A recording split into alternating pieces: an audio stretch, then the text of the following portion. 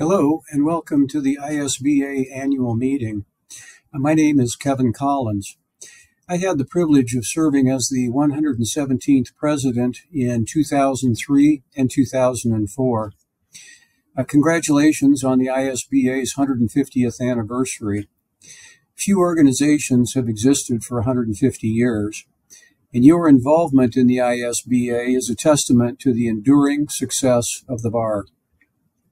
Enjoy the celebration, and I encourage each of you to remain involved and encourage others to get involved to contribute to the continued success of the Iowa State Bar Association. Thank you.